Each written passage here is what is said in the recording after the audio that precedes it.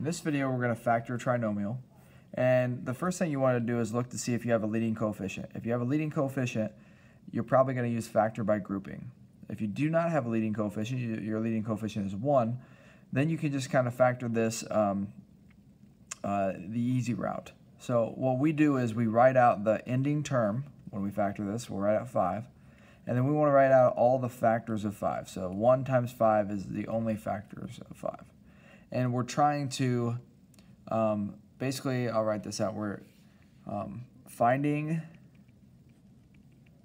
the factors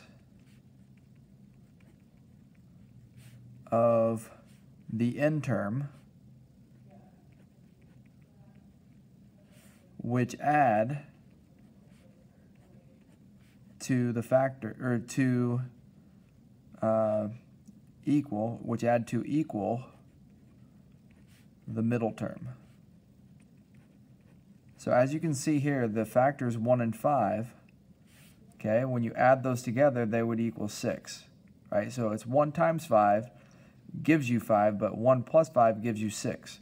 So that was our goal is to find the factors that would add to the middle term. So once we do that, then we can actually split this y squared term and say that we have two binomials with y starting each binomial. And each number that goes in here will be a positive 1 and a positive 5 because it has to add to 6. And this is the factored form for this expression y squared plus 6y plus 5. They're equal to each other. Now you can actually test this. So we're going to just say the test. Okay, to test this out, we're going to multiply these back and see if we end up with the same spot. So y plus 1, y plus 5. We multiply y times y, we get y squared. y times 5, we get 5y. 1 times y is 1y, and then 1 times 5 is 5.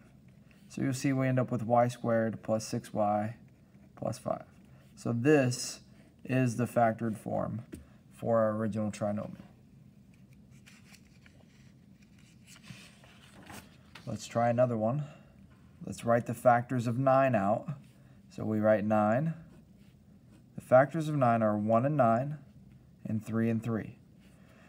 And because this is negative in the middle and this is positive on the end, uh, the only way to get a positive 9 here is to either multiply by two positive numbers or multiply by two negative numbers.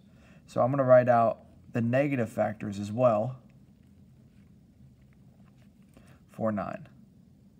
And then we're going to add those up. So 1 plus 9 is 10. 3 uh, plus 3 is 6.